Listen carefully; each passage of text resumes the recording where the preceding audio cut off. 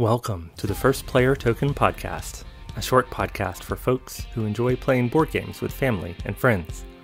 I'm your host, Derek Bruff. In this episode, we're going back to the space race with the upcoming new expansion, Space Explorers Age of Ambition.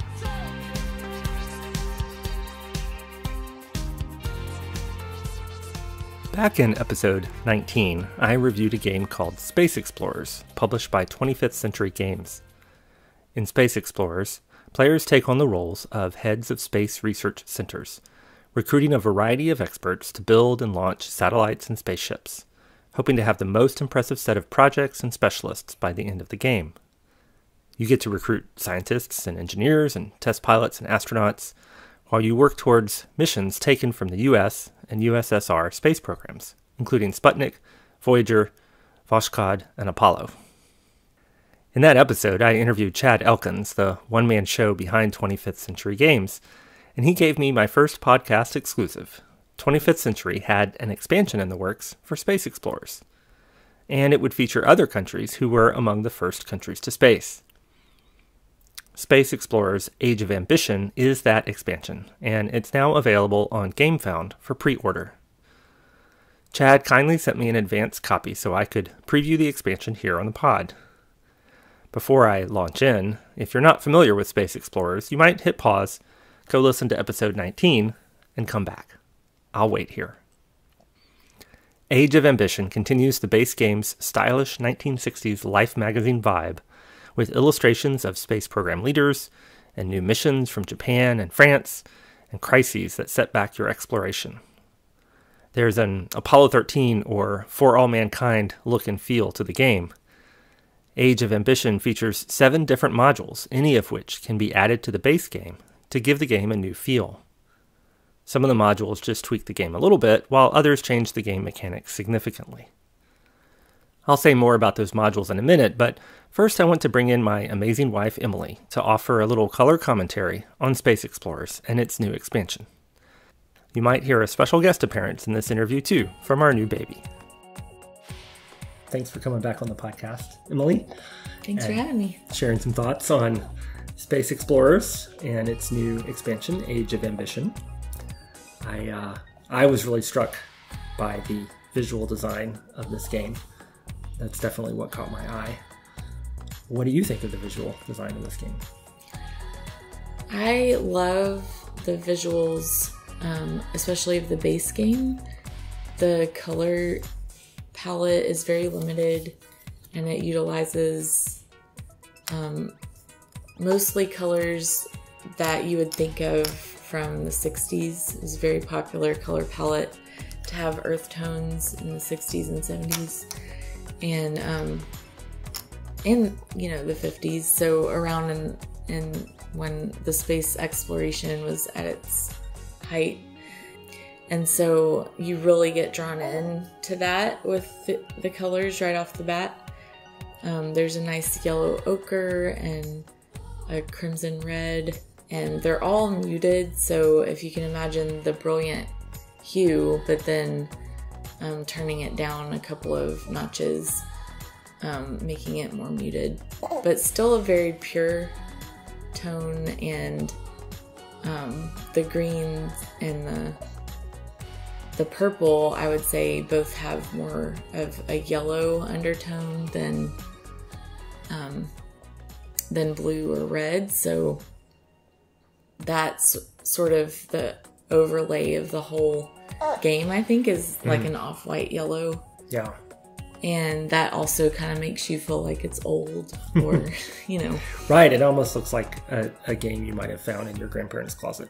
Yeah. With the with the off white everywhere. Yeah, and the iconography and the symbols are all really consistent and they go well together. I think something that I noticed that was helpful was that the there's circles that go with circles and squares that go with squares. Yes. and that's very helpful because some games yeah. that's not the case. Because actually, each of these five colors in the base game are doing double duty. There's a blue that represents a resource, but then there's a blue that represents a skill. Yes. And those function differently in the game. It's the same color, but one is always a square and one is always a circle. and that's very helpful. Um, another thing that's interesting is that they pull the colors into the illustrations. So Hmm. when it's a blue skill, and you're more familiar with the gameplay than I am, Sure. so tell me if I'm saying it wrong. But Yeah, those are those are the engineers. Yes, so the engineer is standing in front of a bank of equipment that is also that same blue color, Oh yeah, and um, it's not just also blue. It's it's the same. It's the same blue. yes, Yeah. and then the um, scientist is surrounded by some soft light, which sort of makes her look yellow, like the yellow on her Her symbol. her symbol, Yeah. and then you know the same with the red and the green and the purple and the purple i love because it it's the purple of the sky so Oh yeah.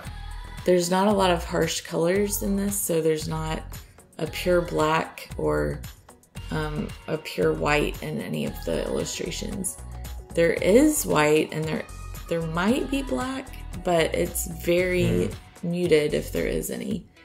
And i don't actually know that i see any black until really until you get to the expansion cards. And hmm. then some of the cards are more distinct. There's definitely some black on the country logos. Right. and so there's these new country cards.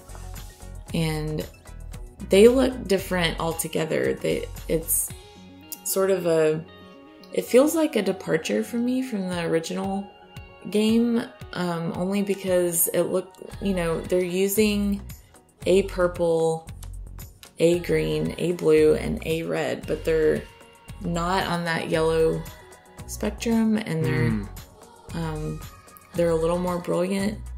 As far as the hue is more pure than the other original in the base game and so i it feels intentional but i just don't know why they did it exactly that way um They look. The country colors from the expansion look a little more 80s to me. yeah There's like a mint green and a what is that? Like a salmon red. yeah Actually, they look like candy. Yeah looks like the easter m&ms Oh, sure. Yeah. Yeah. Or maybe even the eggs in Wingspan. yeah they're very similar to the eggs in Wingspan. Yeah. But they don't quite match the colors from the original game. Right. So I feel like if they had just maybe moved those colors into the yellow arena a little bit, then it wouldn't have felt so much as a departure, but but that may have felt too close to the other cards that you know they're trying to do a lot of things and I don't know how visually confusing that would have been. So Right. Because the US player board is blue, but it's that blue doesn't mean the same as the engineering blue from the original game. right. And so you don't need to associate US with engineers, so they needed a different color for that. But what you're saying is they've maybe the colors aren't different enough. They're not different enough to make you realize that they did it on purpose, Yeah. I feel like. So, but at the same time, the whole game is so intentional with its colors and color choices and illustrations, and Yeah. um, it's really remarkable and a joy to look at. So, you know, I, I'm very curious. I would just love to talk to the designers to find out what led them to choose these colors. And the most brilliant colors you see in the expansion are just the colors of the flags of the new countries that are built into these designs. And I really like that each of those little country symbols has their flag colors, but also works a rocket into the design of the symbol. So, like, there's a, a, ro- a rocket inside the Eiffel Tower for France, and Yeah, there's cool. a rocket coming out of the sickle in the hammer and sickle for the Soviet Union. Yeah. I thought that was a nice design touch. When I looked at this game, I said, oh, that's very pleasing. And I feel like you said it's pleasing and you know why it's pleasing. Well, thank you, Emily, for coming back on the pod. Anything else you want to say? I enjoy looking at this game. So thanks for having me on to talk about it. Absolutely. Emily always helps me appreciate the art and design in my board games. And she does the same thing when we go to art museums, too. I always come away with a, a deeper appreciation for what artists are doing with color and shape and form. Now, let's talk about those seven modules that Age of Ambition adds to Space Explorers. They're numbered from 1 to 7, with the lower numbered modules adding a lot more to the game. For instance, Module 1, Space Powers, that's the big one. Every player takes on one of four different nations to launch space missions the US, the USSR, Japan, and France. Each nation features a player board with multiple unique player powers. There's a lot happening in this module, which adds to the game's learning curve, but also to the strategic options that players have. Module 2, Prominent Leaders, adds 18 leader cards to the game. Think of these as powerful specialists to recruit to your research hubs. They act like wildcards, adding skill points to whatever division of your hub you put them in, but they cost more than regular specialists and have in game scoring abilities. Module 3, Impeding Crises, was our favorite new module when we played the expansion. You'll add new crisis cards to your game, and while each crisis is active, something doesn't work right. It's a crisis, right? One crisis card limits you to using just one specialist ability per turn, another one keeps you from adding specialists of a certain type, like test pilots, to your research hubs.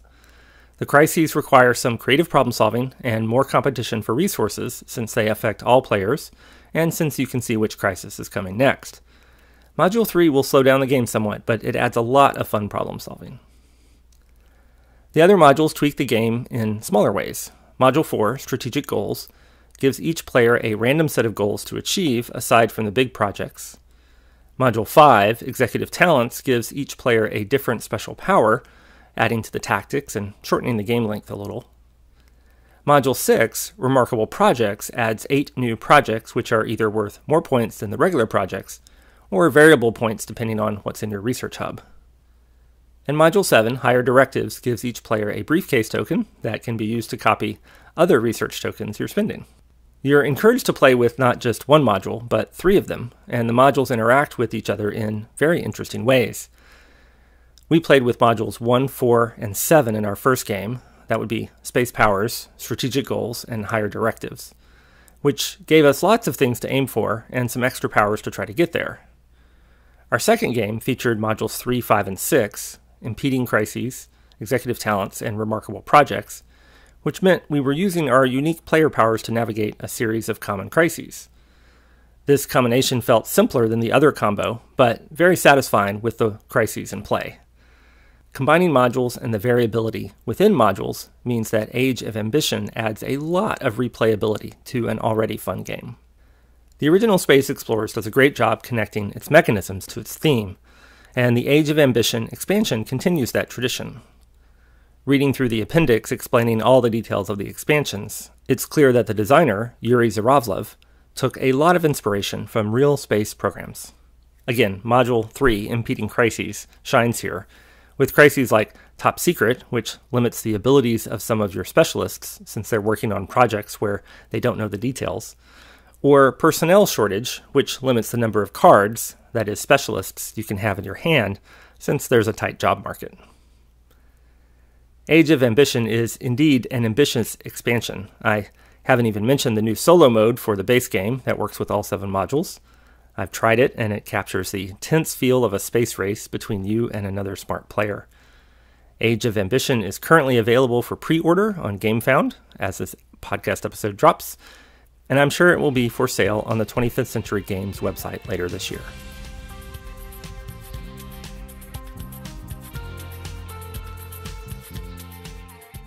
That's it for this episode of First Player Token. See the show notes for links to past episodes and for photos of Age of Ambition. If this is your first episode of the podcast, have a listen to some of our past episodes. Each one is short and sweet, and most feature one of the kids in my life with their thoughts on a game that we like. I've been your host, Derek Bruff. Thanks for listening. Now it's time to play some games.